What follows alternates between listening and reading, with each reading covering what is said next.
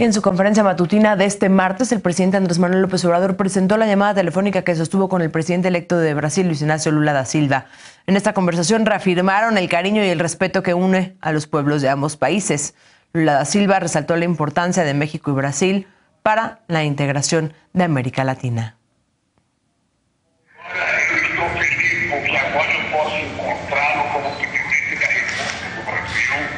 muy feliz porque ahora puedo encontrarlo a usted como presidente de la República de Brasil. Y profundizar la relación entre México y Brasil. Sí. Y el rol importante que Brasil y México pueden ejercer en la integración de América Latina. El presidente López Obrador invitó a Lula da Silva a visitar México el 24 de noviembre. Al respecto, el presidente señaló que le emociona la invitación. El presidente Luis Ignacio Lula da Silva señaló que le emociona, pero reconoció que todavía debe revisar su agenda, pues dijo que todavía no sabe qué va a suceder en su país, ya que el presidente actual, Jair Bolsonaro, no ha reconocido su derrota en las pasadas elecciones.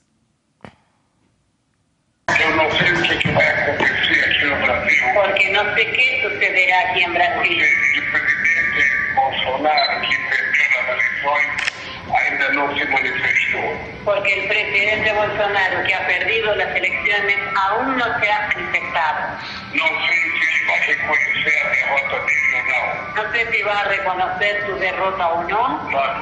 Aguardando. Entonces estoy aguardando un poco. Sería un enorme gusto para mí visitarlo, presidente.